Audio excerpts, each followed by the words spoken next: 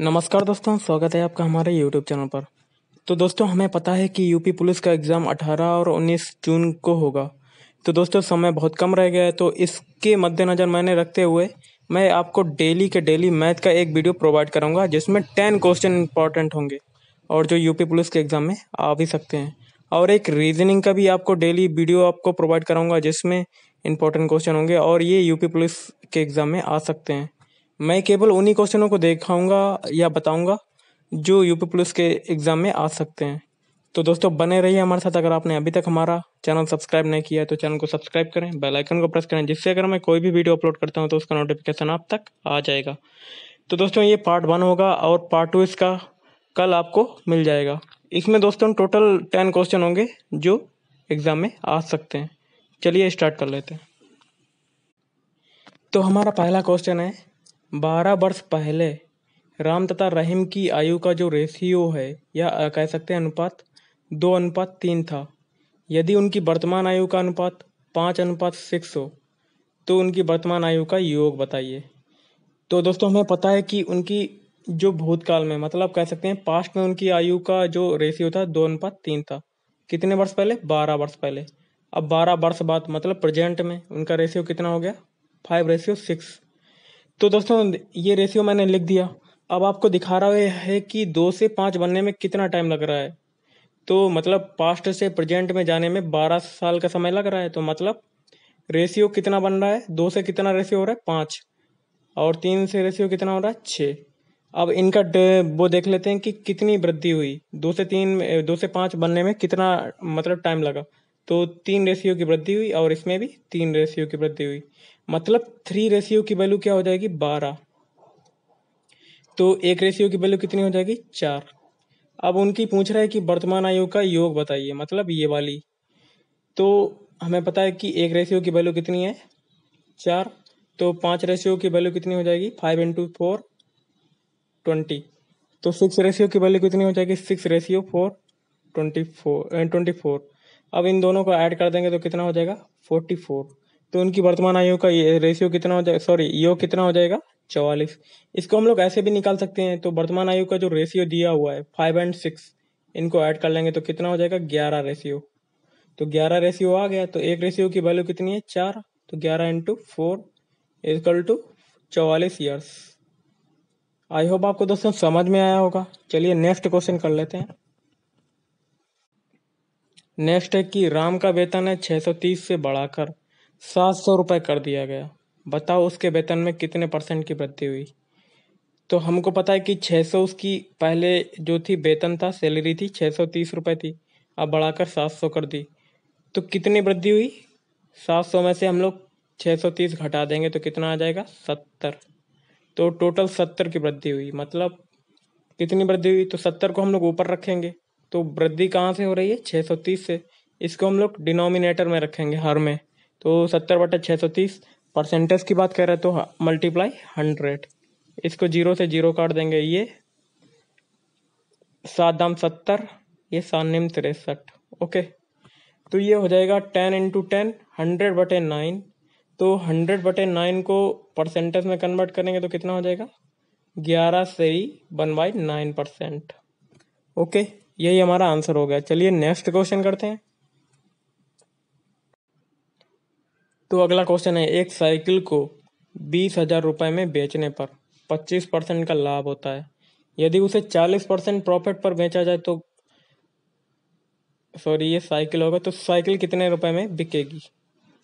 तो हमको पता है प्रॉफिट लॉस क्या होता है। तो सबसे पहले इस टाइप के सवाल करने से पहले हमें पता होना चाहिए कि इन इस टाइप के सवालों में हम लोग सीपी को हमेशा हंड्रेड मानते हैं मतलब क्रैमूल को, और एसपी को जो प्रॉफिट मिलता है या लॉस होता है, उसमें से हंड्रेड से घटा देते हैं या जोड़ देते हैं। तो देखिए इसमें बेच रहा है। एसपी का मतलब होता है सेलिंग प्राइस मतलब विक्रय मूल्य या बेच रहा है जिस वस्तु को। तो इसमें हम लोग हंड्रेड में कितना ऐड कर दें? पच्चीस परसेंट का प्रॉफिट हो रहा है तो पच्चीस इसमें ऐड कर देंगे। तो एक सौ पच्चीस परसेंट हो गया तो एक सौ पच्चीस परसेंट की वैल्यू क्या हो गई? बीस हज़ार। बीस हज़ार रुपए में बेच रहा है। तो आगे कह रहा है कि चालीस परसेंट का अगर प्रॉफिट हो तो मतलब एक सौ चालीस परसेंट की वैल्यू क्या होगी? तो ये पूछ रहा है। तो इसको एक्स मान लेंगे क्रॉस मल्टीप्लाई करेंगे देन एक्स स्कल टू हो जाएगा ट्वेंटी थाउज़ेंड मल्टीप्लाई एक सौ चालीस अपान वन ट्वेंटी फाइव इसको हम लोग काटेंगे तो ये आ जाएगा आठ सौ इंटू अट्ठाईस. इसका मल्टीप्लाई करेंगे तो ये हमारा हो जाएगा बाईस हज़ार चार सौ रुपये आई होप आपको दोस्तों ये क्वेश्चन समझ में आया होगा। चलिए नेक्स्ट क्वेश्चन कर लेते हैं। नेक्स्ट क्वेश्चन है कि ज़ीरो पॉइंट सिक्स बार का मान क्या होगा? जब भी इस टाइप का क्वेश्चन आए तो सबसे पहले हमें याद रखना चाहिए कि ज़ीरो पॉइंट सिक्स है, उस पर बार है तो सिक्स हम लोग ऐसे ही लिख लेंगे अपान में। अगर एक बार है तो उसमें मल्टी बटे में नौ कर देंगे। ओके अगर दो दो इसको दो वाला हम लोग बाद में कर लेते हैं। तो ज़ीरो पॉइंट सिक्स बार है तो इसको हम लोग लिखेंगे सिक्स अपान नाइन। इसको काट लेंगे तो हमारा आंसर हो जाएगा दो बटे तीन। अब देखिए दो बार वाला, ज़ीरो पॉइंट थ्री नाइन पे दो पे बार है। तो थर्टी नाइन को ऐसे लिख लेंगे अपान, दो पे बार है तो नाइन नाइन हम लोग कर देंगे दो बार। इसको काट देंगे तो आंसर होगा तेरह बटे तैतीस। नेक्स्ट क्वेश्चन है हमारा। Under root five under root five under root five under root five under root five so on infinite तक है रूट फाइव देन अगर इस टाइप का क्वेश्चन आता है तो उसमें अंडर रूट में जो वैल्यू होती है, वही हमारा आंसर हो जाता है। तो इसमें देखिए रूट फाइव है तो यही हमारा आंसर हो जाएगा। इसी प्रकार अगर इसकी जगह सात होता तो आंसर सात हो जाता नाइन होता तो नाइन नौ हो जाता। तो इसमें या ग्यारह होता तो आंसर हमारा ग्यारह हो जाता। इस टाइप का अगर क्वेश्चन आता है तो आप आँखें बंद करके आंसर लगा दीजिए कि भाई हमारा आंसर हो जाएगा। अगर अंडर रूट साथ दिया हुआ है इनफाइनाइट तक तो वो हमारा आंसर हो जाएगा। आई होप आपको दोस्तों समझ में आया होगा ये क्वेश्चन नेक्स्ट क्वेश्चन की ओर चलते हैं। नेक्स्ट क्वेश्चन है, यदि x plus one upon x is equal to four then x square plus one upon x square की वैल्यू क्या होगी? तो इस टाइप का क्वेश्चन है। तो सबसे पहले हम लोगों को जो दिया हुआ है x upon sorry x plus one upon x is equal to four ये लिख लेंगे। तो हमें निकालना क्या है? X square plus one upon x square तो हमें ये सोचना पड़ेगा कि x square plus one upon x square हमें बनाना कैसे है इसको। तो अगर हम लोग इसको स्क्वायर कर दें, देखिए x plus one upon x का होल स्क्वायर कर दें तो हमारे ये वैल्यू मिल जाएगी। तो x plus one upon x का whole square is equal to चार का स्क्वायर एक तरफ़ का स्क्वायर हम लोग नहीं कर सकते, दोनों तरफ़ का हमें स्क्वायर करना पड़ेगा। Okay then A plus B का होल स्क्वायर का फार्मूला क्या होता है? A square plus B square plus two A B देखिए, ये हो गया x square plus one upon x square हो गया, ये वैल्यू हमें मिल गई। तो हो जाएगा plus two into x into one upon x x से एक्स कट जाएगा इजकल टू चार का स्क्वायर क्या होता है? सोलह। ये सोलह हो गया। तो x square plus one upon x square plus two is equal to सोलह। Then x square plus one upon x square is equal to सोलह माइनस टू आंसर हो जाएगा चौदह। चलिए नेक्स्ट क्वेश्चन कर लेते हैं। अगला क्वेश्चन है हमारा ए किसी काम को बारह दिन में बी उसी काम को चौबीस दिन में करता है। यदि भाई चार दिनों तक सात काम करें तो काम कितना, जो काम का है, चार दिन तक काम तो सात करते हैं तो उसके बाद कितना काम बाकी रह जाएगा।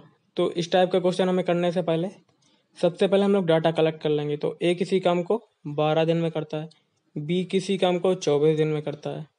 तो बारह और चौबीस का सबसे पहले हम लोग एलसीएम निकाल लेंगे। इस टाइप के क्वेश्चन को हम लोग टाइम एंड वर्क के क्वेश्चन को इसी मेथड से अगर करते हैं तो आसानी से हो जाएगा। तो बारह और चौबीस का एलसीएम कितना हो जाएगा? Twenty four. तो जो ट्वेंटी फोर आया वो हमारा हो जाएगा टोटल वर्क मतलब पूरा काम। अब हम लोग बारह का डिवाइड कर देंगे, एलिगेट नहीं करेंगे, बारह का डिवाइड चौबीस में करेंगे तो उनका एक दिन का काम आ जाएगा ए का। तो चौबीस बटे बारह तो दो। एक दिन का काम इनका आ गया ए का, दो। इसी प्रकार चौबीस का डिवाइड करेंगे चौबीस में तो बी का एक दिन का काम आ जाएगा एक। तो ए प्लस बी का एक दिन का काम कितना हो जाएगा? तो A plus B is equal to two plus one इसको ऐड कर देंगे तो तीन हो जाएगा, तीन यूनिट तो ए प्लस बी का एक दिन का काम हो जाएगा तीन यूनिट तो जब एक दिन का काम इनका तीन यूनिट है तो चार दिन का काम कितना होगा? तो three into four three into four कर दिया तो बारह यूनिट हो जाएगा।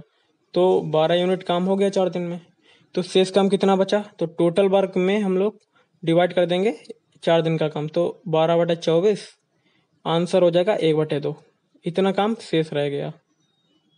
आई होप आपको दोस्तों समझ में आया होगा। चलिए नेक्स्ट क्वेश्चन कर लेते हैं।